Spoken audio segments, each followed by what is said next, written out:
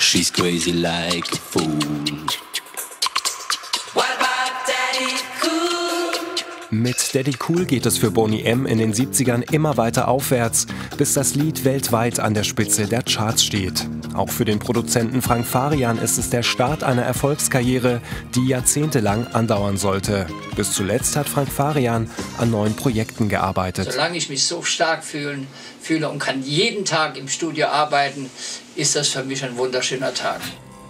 Frank Farian wächst im Saarland auf. Er arbeitet als Koch, lernt aber bald, welche Zutaten ein Hit braucht. Mit seiner Gruppe Frankie Farian und die Schatten veröffentlicht er seine ersten Lieder. Ende der 60er tritt er als Schlagersänger auf.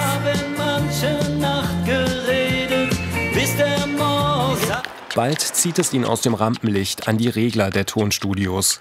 Die Hits von Boney M entstehen in seinem ersten Studio im Kreis Offenbach. Die Nachbarn freut es. Klar hat man da schon mal hinter der Gardine geguckt. Ist doch klar, wenn dieses riesige Auto ankam, ne?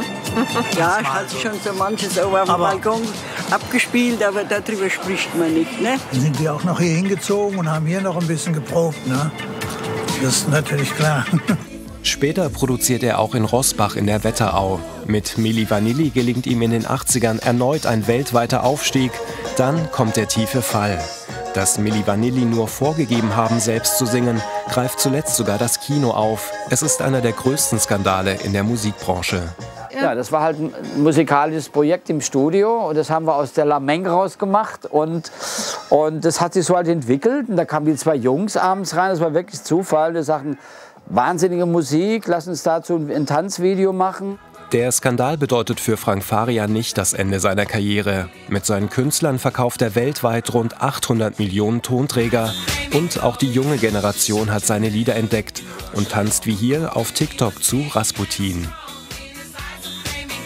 Es ist mir alles gelungen, ich habe keine Träume mehr. Das Einzige, was mir, was mir wirklich wichtig ist, ganz, ganz wichtig, ist die Gesundheit. Vor zwei Jahren wurde Frank Farian am Herzen operiert. Heute teilt seine Familie mit, dass er im Alter von 82 Jahren in Miami gestorben ist.